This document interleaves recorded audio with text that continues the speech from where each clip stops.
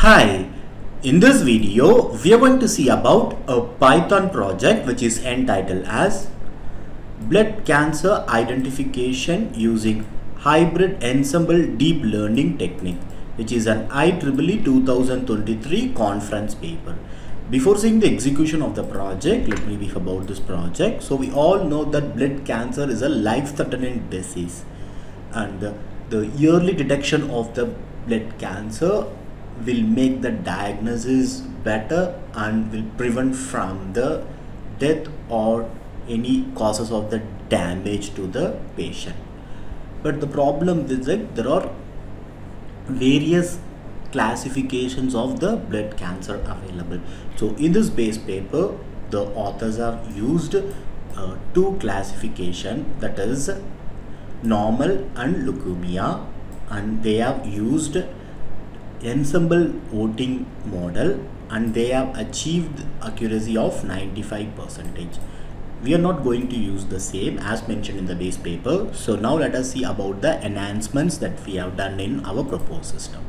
So we are going to use MobileNet v2 architecture in the proposed model and the training accuracy that we have achieved is 98 percentage and the validation accuracy that we have achieved is 96 percentage so now let us see about the proposed system so the IEEE base paper title is Blood Cancer Identification using Hybrid Ensemble Deep Learning Technique and our proposed title is Blood Cancer Detection and Classification using Deep Learning. So this is the IEEE base paper abstract. Now let us see about the our proposed abstract so as mentioned so we are going to employ mobilenet v2 architecture using python and the data set that we are going to use is blood cells cancer all data set so which contains four classes. So in the base paper there are only two classes. So now we are going to classify four classes. The main classification is benign and the, malignant.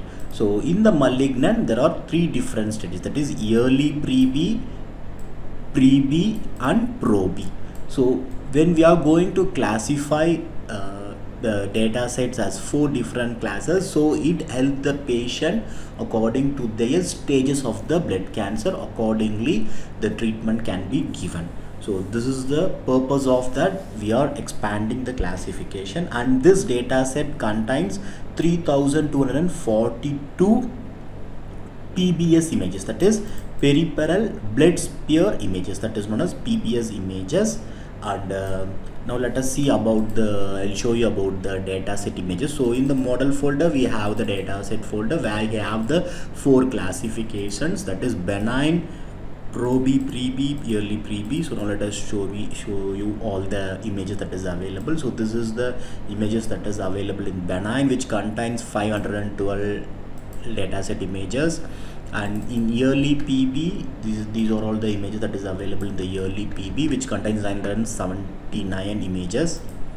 And in pre-B malignant PB which contains 955 images. So these are the images of the malignant pre-B. And in pro-B which contains 796 images. So these are the images that is available in the class pro-B. So these all are the images that we are going to train up. So the total images is 3242 images. So we're going to use the deep learning model and we have achieved the accuracy of training 98 percentage and the validation accuracy 96 percentage.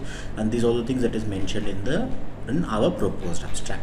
Coming to the existing system as mentioned so the base paper is considered as existing system here. So they have used ensemble voting classifier. Those details have been described here. And here we have listed the disadvantages of the existing system those details have been mentioned here. And coming to the proposed system so the details of the mobile net architecture the classes of the dataset and the proposed core concept of the proposed system details have been mentioned here. And coming to the advantage of the proposed system so we have listed the advantages of our proposed system and coming to the system architecture it contains the blood cell cancer all image data set and pre-processing feature selection made and MobileNet architecture and the blood result is classified as benign or malignant or pre-B or malignant pro-B or malignant yearly pre-B and the performance analysis and graph within class which is all the system requirements hardware and software requirements. So as in mentioned so we have used python. The version that we have used is python 3.10.9 and the web framework that we have used is Flask for the front end part we have used html css and javascript. And this is the reference of the base paper so before execution make sure that you fulfill the requirement that is mentioned in the requirements file with the exact version of python and the libraries installed in your system. So now let us see the execution of the project. So first copy the source code location. Now go to your command prompt. First go to the drive location where you have pasted the code. In my case i have pasted that code in f drive so i'll go to the f drive. Now type cd space and paste the location that we have copied and click enter. So now we are into the source code location. So now type python app dot py and click enter and kindly wait for a few minutes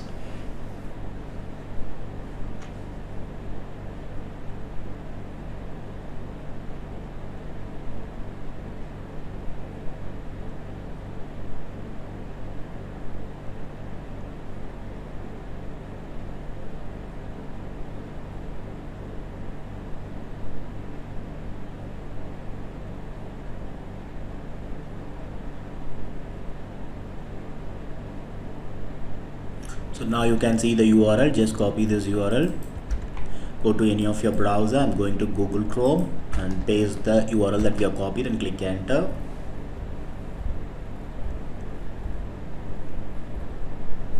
So now you can see the home screen or welcome screen of the project with the project title blood cancer identification using deep learning. First click this login menu it will be navigated to the login page. Kindly note that this is a static login page because we have not used any database in the project. So just enter the default username and password as admin and admin and then click the login button. So now you can see the login success message and click ok. So now it will be navigated to the preview part where you need to upload the image to predict the result of the image. So me choose choose image and now you can go to the project folder where you can find the test data and you can select which are the images you wanted. So now let me go to the one of the classes benign and let me select an image. And now you can preview the image that we have selected and then click submit. So now you can see the prediction result. The predicted result is benign. So now let me click the preview menu again to check with other image. So just select the choose file again and this time I'll go to the class yearly pre-B and select an image. This is the image I selected and then click submit. So now you can see the uh, image that we have selected and then the predicted result is malignant yearly pre-B and now let me go to the preview part again to check with other case let me go to the pre-B this time. I select an image from the test folder. And let me click submit.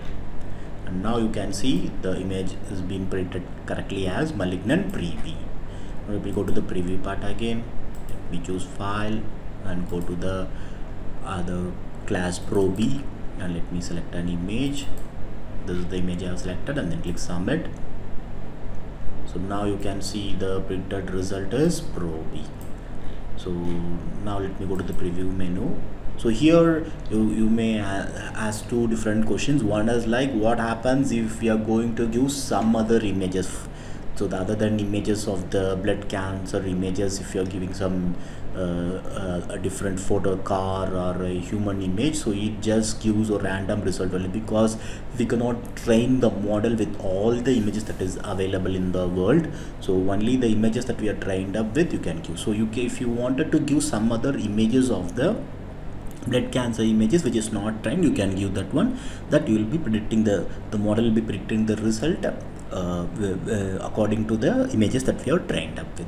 So let me choose image. So this time i'm just i'll just go to the model folder. So i have shown you all the ones single cases from each of the test images. Now this time i'll show you with the trained folder. So let me go to the dataset folder. I'll just go to a class here. So there are various images available. So I'll select a random image. So this is the image I selected and click submit and now you can see it is printed correctly as yearly pre so in this way you can check with the images that is available in the data set and in the test folder also. This time I'll go to the pre-B folder. I'll select an image which is available uh, randomly and let me click submit. And now you can see it is printed correctly as malignant pre-B let me go to the preview part. I'll go to the pro B part click submit. And now you can see it is printed correctly as malignant pro B let me go to the preview part. Uh, let me go to the benign folder select an image and click submit. And now you can see the bitrate result is benign. So in this way you can check with the images that is available in the test and train folder so now let me move to the next part that is the performance analysis. So just click this performance analysis menu it will be navigated to the performance analysis part. So here you can see the performance analysis parameters like accuracy precision recall and f measure value. So you can see the accuracy is 0.96 precision is 0.96 recall value is 0.96 f measure is 0.96 and you can see the confusion matrix which contains the true unprinted label of the classes 0 1 2 3 with the true and pretty label of the four classes that we have discussed. So this is about the performance analysis part of the project. And final comes the chart part. So once if you click this chart you can see two different that is model loss and model accuracy. Kindly note that this is a chat static chart because we are not use any database in the project. So this chart is being depicted from the model code that we have developed. So here you can see the model loss graph which contains the loss and epochs that we have developed in the project. And second graph contains the model accuracy graph which contains the accuracy and the epochs so these are all the things that is available in the chart part. So now let me log out so this is all the, about the project blood cancer detection and classification using deep learning using python and thank you for watching